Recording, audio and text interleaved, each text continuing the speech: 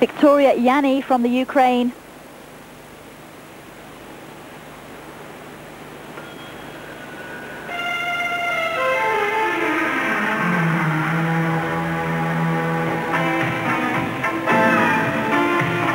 She's got a difficult job at these championships.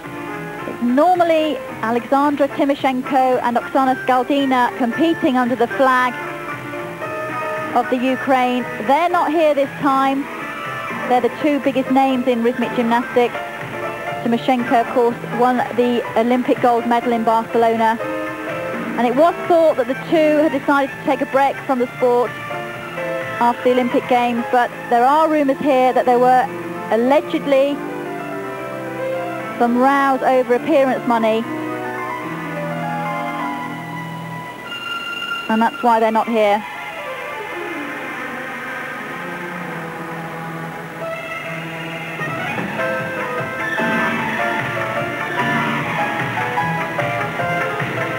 This girl, not usually an individual gymnast, she does train with the Ukrainian team, the group exercise, and you can tell that in her work. Competent gymnast, but there's nothing outstanding there, nothing different in the choreography.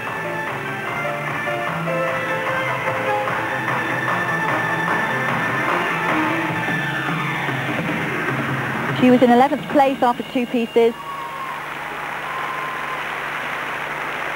Gets through the hoop exercise without a problem. Victoria Yani.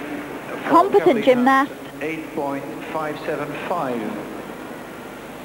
Met de bal. Doesn't manage to control the move as she's coming out. And 9.35 the score for Yani on hoop. Ekaterina Serebrianskaya, Ukraine.